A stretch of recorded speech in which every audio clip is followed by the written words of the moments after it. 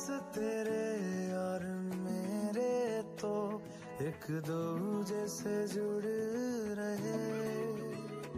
एक तेरी तलब मुझे ऐसी लगी, मेरे होश भी उड़ने लगे। मुझे मिलता सुकून, तेरी बाहों